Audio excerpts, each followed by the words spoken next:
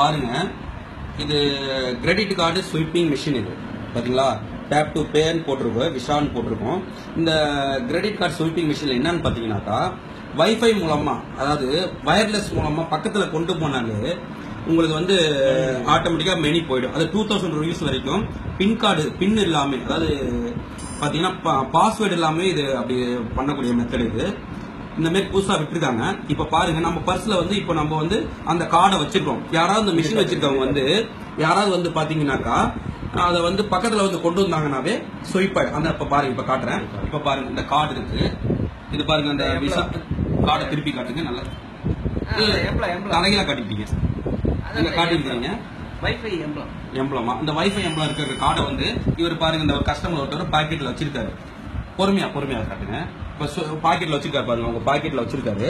இப்போ வந்து இந்த அந்த ஸ்வீப் மிஷின்ல இவர் என்ன பண்றாருன்னா இவர் வந்து பாத்தீங்கன்னா நூறு ரூபான்னு போடுறாரு. நூறு ரூபான்னு போட்டு ஓகே கொடுத்துட்டு அந்த ஸ்வீப் கார்டு மிஷினை அந்த பாக்கெட்டு கிட்ட கொண்டு போறாரு பாருங்க.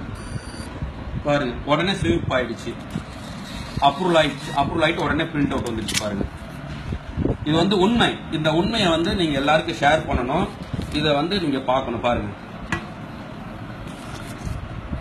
சரிங்களா இது பாருங்க மெசேஜே வந்துருச்சு பாருங்க. உங்களுக்கு இந்த சம்பந்தப்பட்டவங்களுக்கு நூறுரூபா கிரெடிட் ஆயிடுச்சுன்னு சொல்லிட்டு டெபிட் ஆயிடுச்சுன்னு சொல்லிட்டு மெசேஜே வந்துருச்சு. இதை நான் இதை வந்து நீங்க எல்லாருக்கும் ஷேர் பண்ணணும்.